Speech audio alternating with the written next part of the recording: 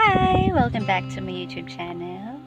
Ngayon po ay gusto kong i-share sa inyo is about the helicopter challenge dahil nadidisturb ang aking damdamin.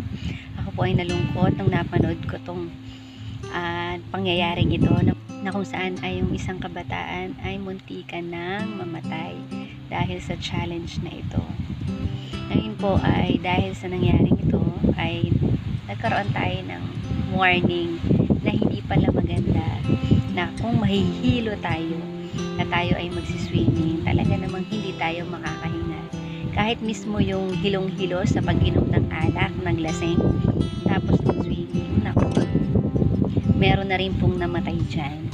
Kaya ingatan po natin ang ating mga sarili. At meron din po akong isang bagay na na-realize na kung saan ay ang mga tao gumagawa ng mali para maging masaya pwede gumagawa ng mga laro na kung saan ay maging katawa-tawa ang kapwa o ang ating mga kaibigan o kung sino man.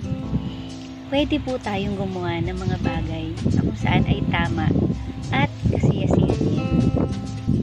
Kung gusto po natin maging masaya, mas maganda yung masaya tayo na gumagawa tayo ng tama. Sabi nga sa 1 Corinthians 10.31 Whatsoever you eat, or drink or whatsoever you do, do it all for the glory of God. Lahat po ng ating gagawin, isipin, sasalitain, kakainin.